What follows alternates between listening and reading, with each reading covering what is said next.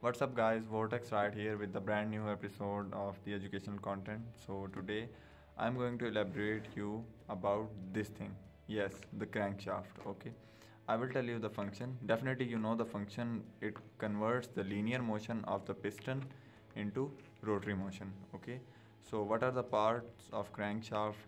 This is basically a single cylinder and I'll show you on this multi-cylinder a three cylinder crankshaft okay so let's begin well remember one thing guys that this crankshaft is just a model alright it is not properly machined. It is just for the elaboration. I found it uh, for you guys. But the fact is you must know that the surface like this crank pin and main journal surfaces are polished and finished alright in this case you can see these are just dull so they are not machined. But we can assume that everything is just like the real one so starting with the parts from the front side this is known as snot it is the place where uh, a pulley or the harmonic balancer is fitted on the front of the engine. Uh, well on the other side you can see this is flange uh, basically the rear end of crankshaft where the flywheel comes and fit with it. In between you can see there are four main journals one two three and 4. These four of main journals just help this crankshaft to hold inside the engine block okay by means of mount and shell bearings or you can say half sleeve bearings. Over here these off center pins are known as crank pins. These are the spot where uh, your connecting rod just gets connected from the big end to this spot okay.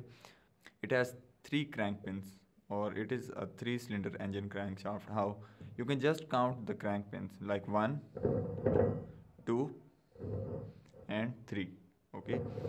Now you can if you uh, compare the motion of these crank pin journals these are basically off center okay? These are not exactly in the center these are off to provide the stroke length to a piston okay? You can see all of these three crank pins are off center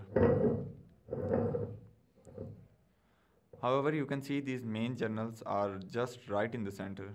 So therefore, these are also polished and by the help of half sleeve bearings, this crankshaft gets hold into the block.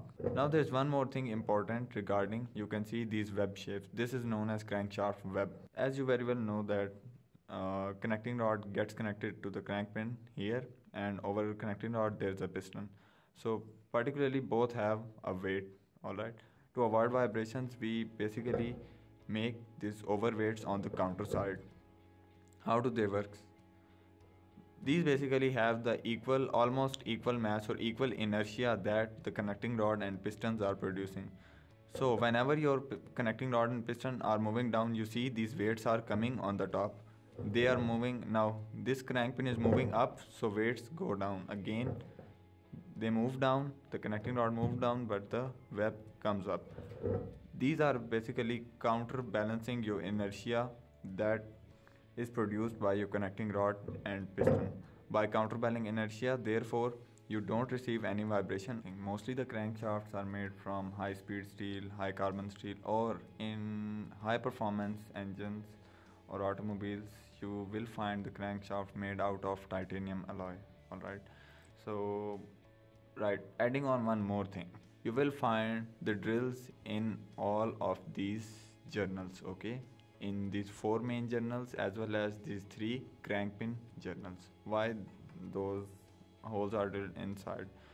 If you see the geometry of the drilled holes it's like starting from here to here then goes here. After it follows that crank pin comes up to this main journal and that drill is transferred to here and again back to a main journal. Those oil drills are used for providing the lubrication oil to both sides that comes along all of the journals and they lubricate the bearings, the connecting rod, big end bearings. Guys, thank you for watching. So stay tuned and suggest me more videos. See you soon next time.